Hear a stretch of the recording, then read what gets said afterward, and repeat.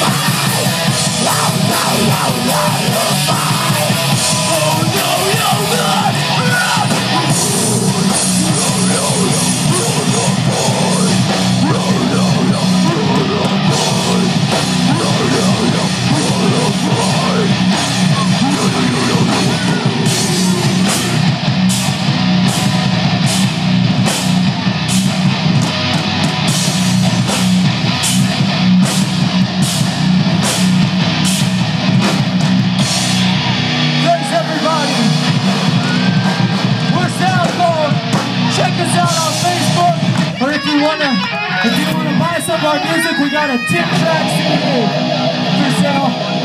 Oh, we have one. Uh, we have one uh, really important annou- announcement actually. Um, who who uh, who here has heard of plea for Plea for Purging? Anybody? Um.